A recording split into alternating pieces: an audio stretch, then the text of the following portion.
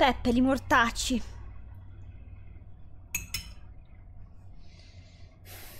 Morta.